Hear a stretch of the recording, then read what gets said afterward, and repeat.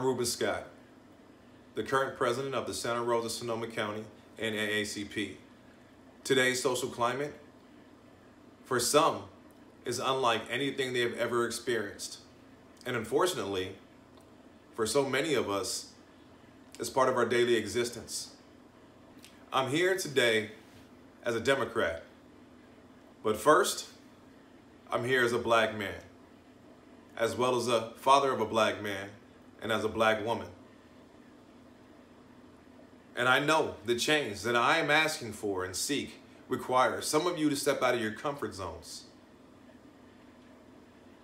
and into the next generation of social leaders. I am challenging you to exercise your right to vote for change.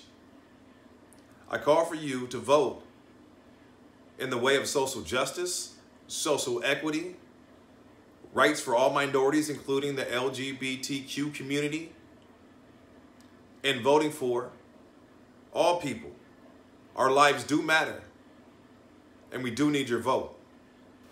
I would also like to take a moment to appreciate those elders who started the movement locally, such as Platt Williams, Diane Foster, Dave Johnson, and so many others we have lost, but the momentum they created shall continue through our actions.